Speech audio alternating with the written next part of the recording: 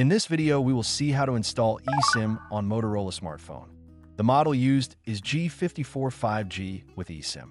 If you're new to this channel, do consider subscribing. We post content related to eSIM and international travel tips.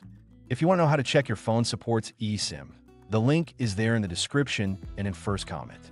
Before you start the process, check you have installed latest software on your device.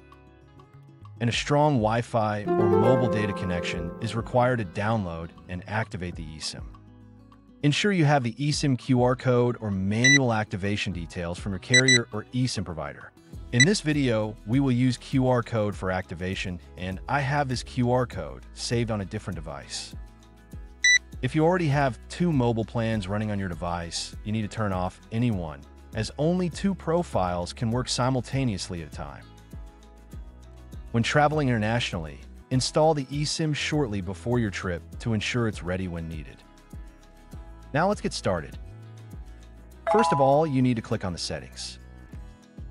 Next, click on Manage SIMs. Then click on Download New eSIM. Go to Set up an eSIM.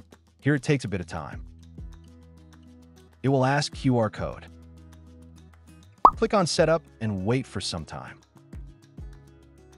Then go to Settings. Now you can see a new eSIM updated on your phone. Now toggle on the eSIM. Then go and turn on the data roaming.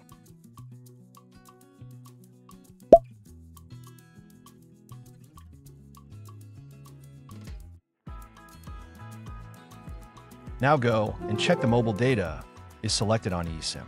Make sure Switch SIM automatically is turned off. You can update eSIM profile name by changing the SIM name of eSIM. Best to give country name, GBs, and validity of plan.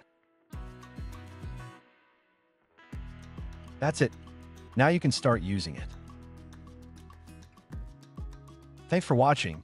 If you have liked this video, do give a thumbs up and subscribe to our channel.